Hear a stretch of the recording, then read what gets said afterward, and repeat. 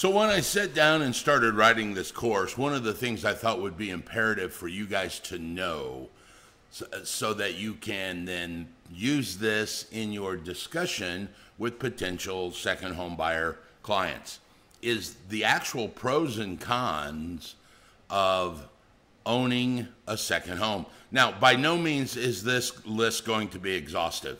There's probably a whole bunch more pros and probably a lot more cons that can that you guys can think of. This is just to give you an idea of where we start. So one of the very first things is a tax benefit.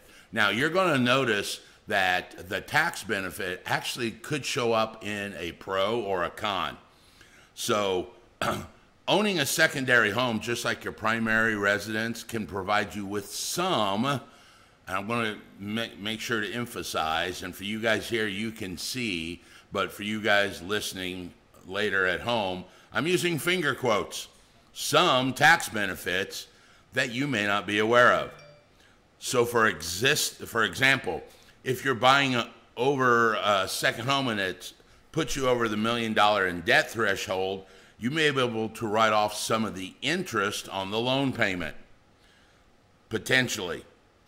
If you own a second home and you use it to rent out part of the year that you're not there, then some of the portion of the maintenance could be also tax deductible because it's rental related.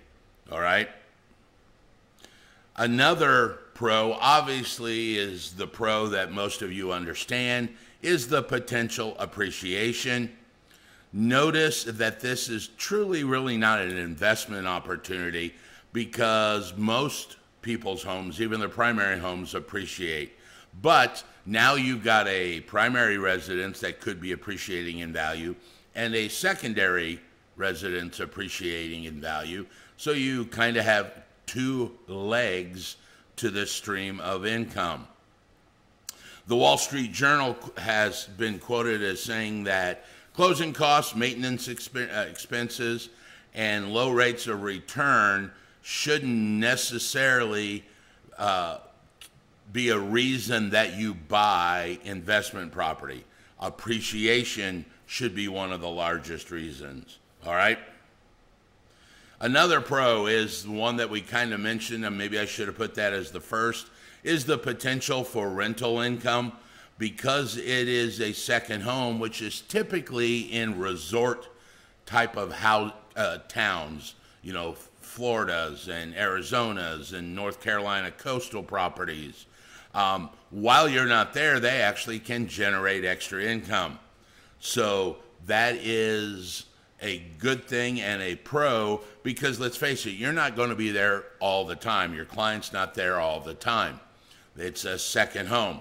So, this opportunity of them not being there can create a third leg of income called rental income that they could generate.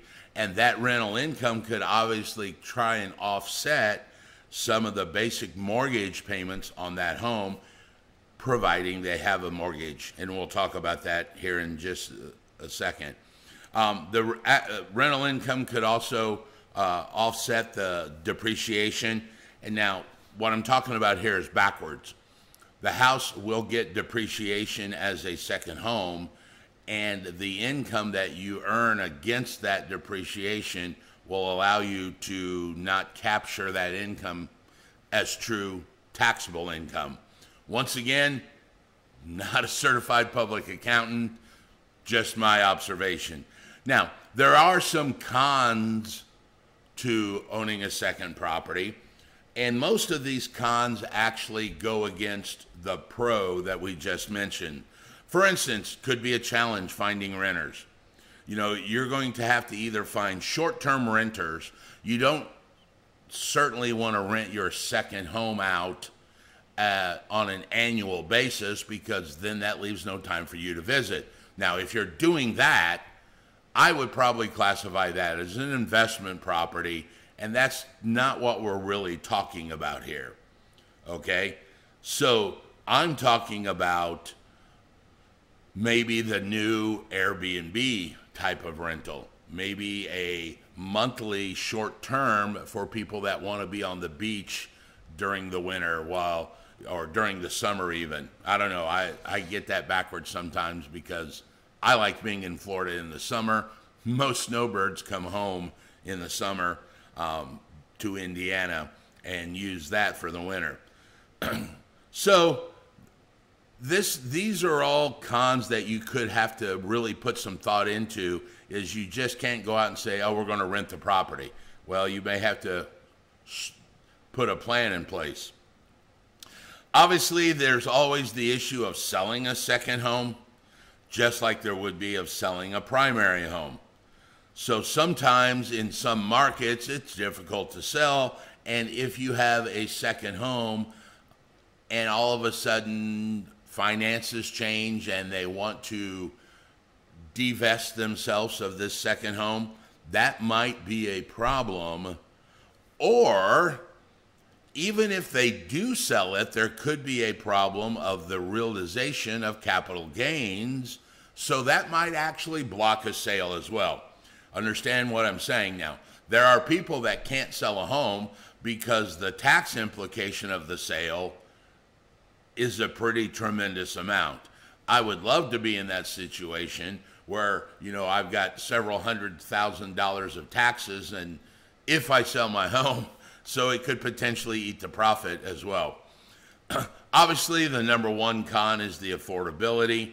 Second homes can be a financial disaster, especially for people that are right on the edge or right on the border and they start shopping and they really can't afford a second home or are on the edge.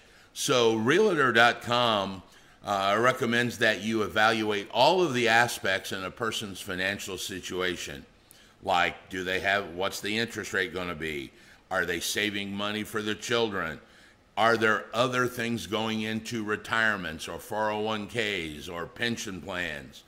All of these things become important when determining a person's financial ability. Now, we're going to leave that right here and we're going to come back and start talking about how you guys, as an agent, can help them walk through their pros and cons. All right?